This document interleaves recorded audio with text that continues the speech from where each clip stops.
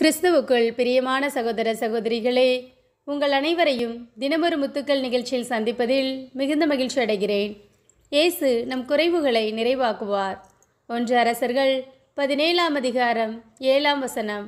நாட்டில் மழை பெய்யாத காரணத்தினால் சில நாட்களில் அந்த ஓடையும் வற்றி போனது. பிரியமானவர்களே எலியா இறைவனின் வார்த்தையின்படி கேரித்து ஓடை அருகில் ஒளிந்து கொண்டிருந்தான்.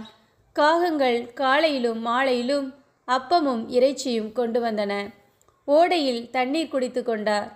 திடீரென நாட்டில் மழை பெய்யாத காரணத்தால் சில நாட்களில் அந்த ஓடையும் வற்றி போனது. காரணம் மழை பெய்யாததால் குறைவு உண்டானது. வானங்கள் தாமாக மழை பொழிய முடியுமா? எங்கள் இறைவனாகிய ஆண்டவரே நீரல்லவா அதை செய்யக்கூடியவர். அன்பானவர்களை எளியாவே கேரி தாற்றங்கரையில் இருக்கும்படி வைத்தவர் இறைவனே. ஆனால் மழை பெய்யாததினால் ஆற்றில் தண்ணீர் இல்லை. இதே போன்றுதான் நம் வாழ்க்கையிலும் இறைவன் கொடுத்ததுதான் எல்லாமே. வீடு பிள்ளைகள் வேலை. ஆனாலும் அவற்றில் பிரச்சனைகள் வந்தவுடனே இறைவன் கொடுத்தது தானே ஆனாலும் இதில் பிரச்சனை ஏன் எனக்கு இந்த நிலை? என்று மனம் தளர்ந்து போகிறோம்.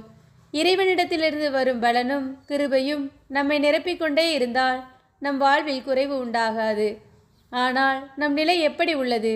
இந்த பரபரப்பான உலகில் வேலை குடும்பம் என்று முக்கியத்துவம் கொடுக்கிறோம். ஆனால் இறைவனை மறந்து விடுகிறோம்.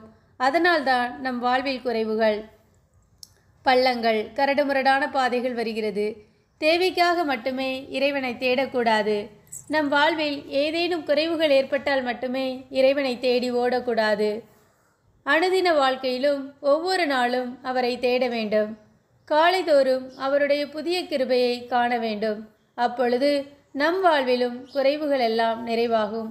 எல்லா ஆசிர்வாதங்களும் பொங்கி வழியும் அன்பு இறைவா எங்கள் வாழ்வில் தினமும் உமது கிருபையினால் நிரப்பப்பட எங்கள் குறைவுகள் எல்லாம் நிறைவாக எப்பொழுதும் உம் உடனிருப்பு எங்களோடு இருக்க வேண்டும் என்று அவரை நோக்கி ஜெபிப்போம். ஆமேன்.